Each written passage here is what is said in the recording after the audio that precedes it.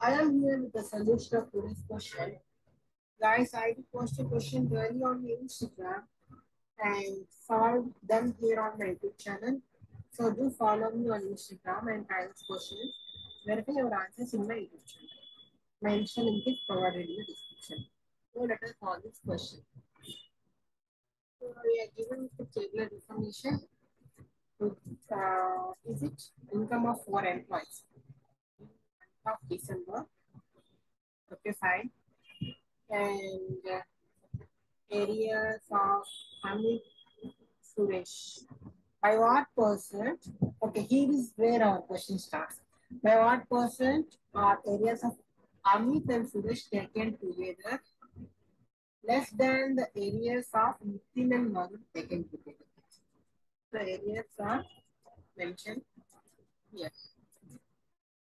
So we need, first we need to take off Amit and Suresh and then we should concentrate on Nitin and Varun. Okay, so how much is Amit Suresh?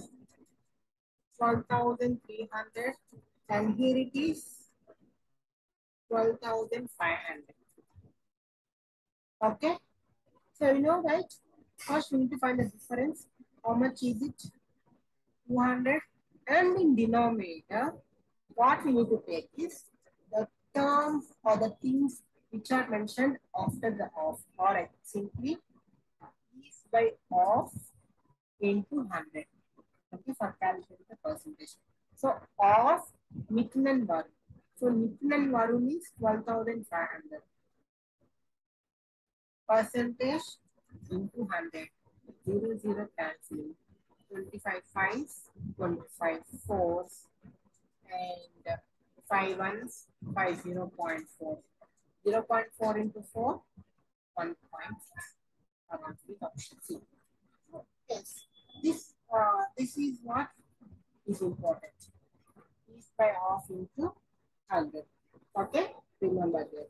So this is how we need solve this question. And for this, we try this question and got the answer is option C. My congratulations for you people. And if you find this video helpful, do like, subscribe, and share. Thank you.